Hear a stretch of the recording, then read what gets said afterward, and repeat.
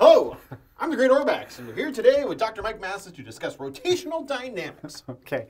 Look, we've been talking a lot about this new quantity, a moment of inertia.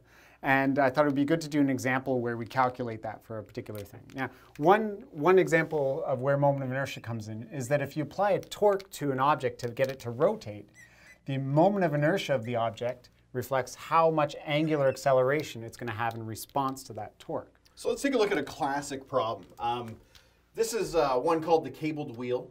You basically just have a wheel or a disc, um, and you allow it to rotate about its center point. Now, if I apply a force to this to actually make it turn. Uh, you've got the case of a pulley, you've got the case of a drive shaft on an engine, sure. um, any sort of many applications that you can be taken into account here. Now, if uh, we've got a force, let's give it some kind of radius. Let's say this is 20 newtons. Let's say it's a massive wheel that has a radius of one meter. Okay, so, so, so then it produces a torque of 20 times one. That would be 20 newton meters. Right. All right. I apply this force. We pull it. It causes it to rotate. Um, and as it turns, we have to be applying it for some amount of time. So okay. we say we pull on this for five seconds, so it's turning for that period of All time. Right. It starts at zero rotation, so zero uh, revolutions per second or radians per second, um, and it goes all the way up to 100 rotations per minute. Okay, 100 RPM. Uh, we need to put that in SI units, so that's going to be uh, it's about 10 rads per second. Okay, so for those of us who don't want to do it in our heads, uh, 100 revolutions per minute. Okay, well, all right, to convert to rad per second, one revolution is two pi radians. So we, we need two to, pi radians. And then we need to revolution.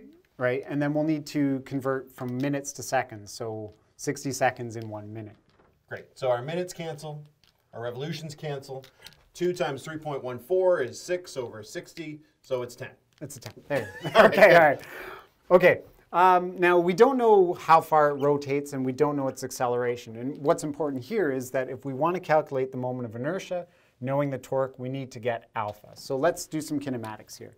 We have the initial and final velocity. We have the time. So we can get alpha as delta omega over delta t. And it's just literally the rotational equivalent to what you did in the linear case, right? When you're solving for acceleration with velocity per time, alpha is omega per t.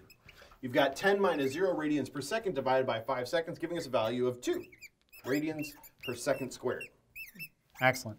So we have alpha, we have the torque now, we can get I. Right. We want to solve for that moment of inertia. That moment of inertia is equal to the torque divided by alpha. All right, and that's 20, I'm putting the equal sign, 20 newton meters divided by 2 rads per second squared.